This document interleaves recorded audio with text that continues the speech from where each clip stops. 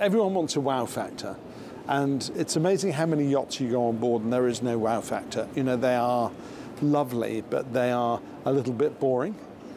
And I think when you step on board one of these big, very valuable yachts, be it a motor yacht or a sailing yacht, you know, there should, there should be a wow factor, whether it's the aft deck, the swimming pool, the owner's stateroom, but you need that. And that's what, that's what people want. They want to experience something new and different to what they've experienced on land.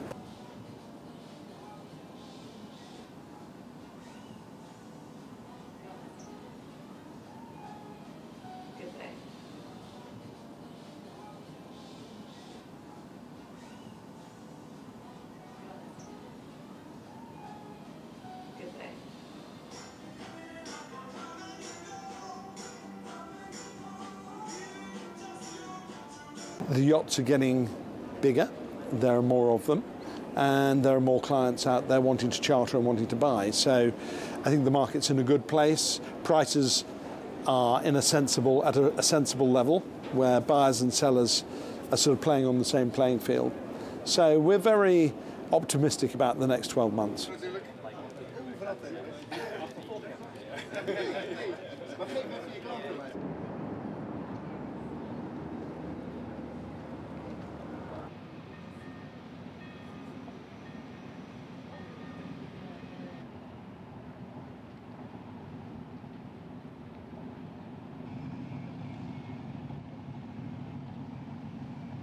The veterans in yachting, they've done it all around here, I think, uh, and they probably want to go out there and see what's what's available on the yacht. Also, also you have a generation, generational issue, sorry, whereby what the so-called millennials, you know, they are very keen to explore the uh, areas where you don't have such a high and intensive uh, um, uh, yachting uh, activity.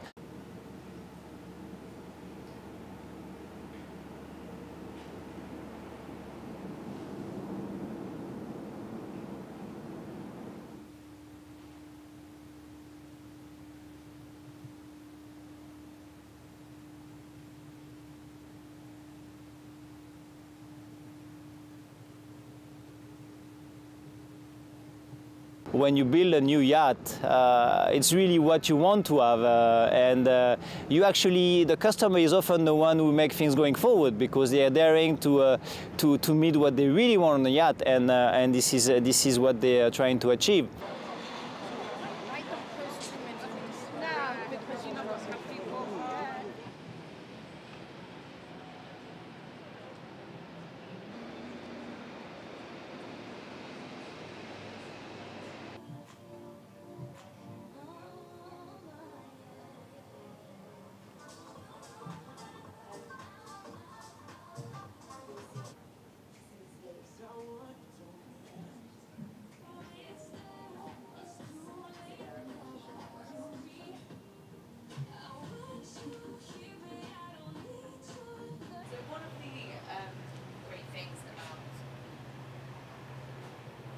Few years ago, uh, we used to see most of the clients coming from Russia.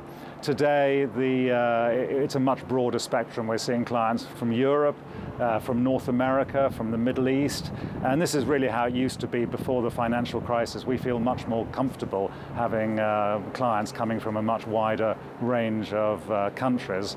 And the other thing that's changed is the size of boats. Boats have got quite a lot bigger. If you go back to the 2000s, we were building predominantly boats around 37 and 40, 44 meters. Now, today, the smallest yacht we're building is uh, 50 meters.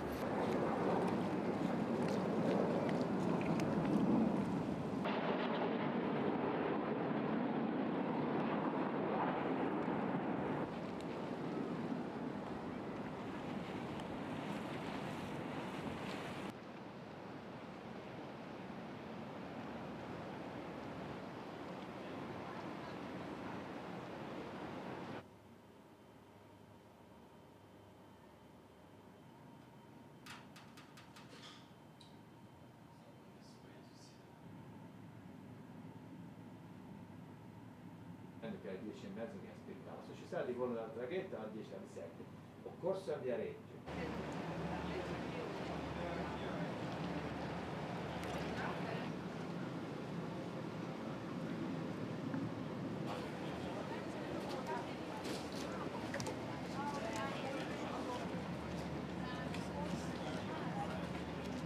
They want to do water sports, they want to visit a new place, they want to have a, uh, a visit to the historical uh, town.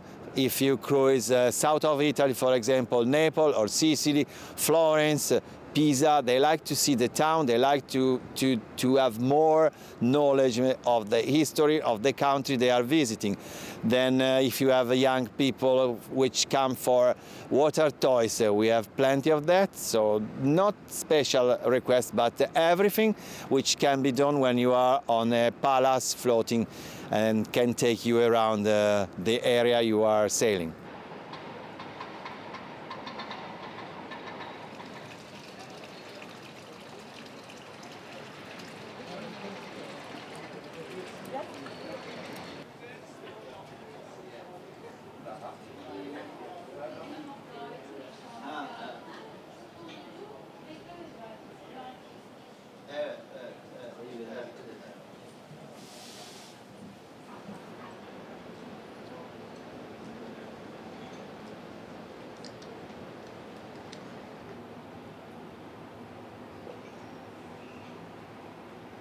The clients are much more intrigued about the use of the vessel, so it's much more about functionality uh, rather than looks. Of course, looks, uh, looks are still important, but what can you do with a yacht is, is even more important.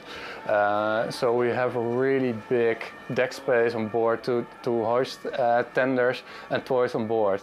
And it's, um, it's really about the use of the vessel and not uh, to show off.